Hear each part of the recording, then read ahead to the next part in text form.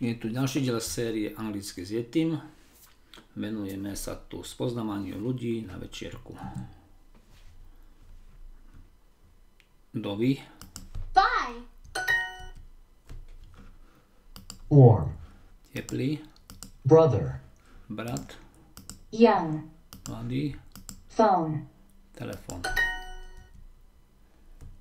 Môj telefón je starý. My phone is old. bye, doctor, Nový doktor. bye, doctor. Coat, Kabát, But. ale Where? kde she, ona. This wine is from Moravia. Thin wine. Toto víno je z Moravy. Your coat is very interesting. Váš kabát je veľmi zaujímavý. Your wallet is small. Tvoja peňaženka, vaša peňaženka je malá.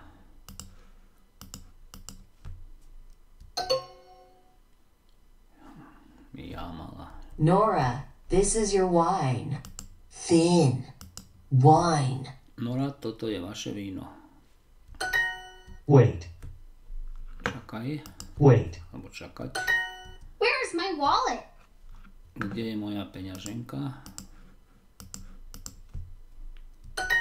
Your wallet is old.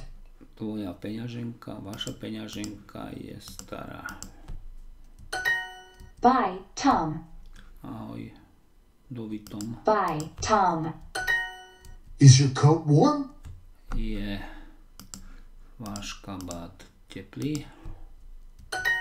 No, my phone is small. Phone. Nie, môj telefón je malý. This wine is very cold. Toto This víno wine is je veľmi studené. very cold. Je toto tvoja peňaženka? Is this your wallet? Your wallet is small. Vaša peňaženka je malá.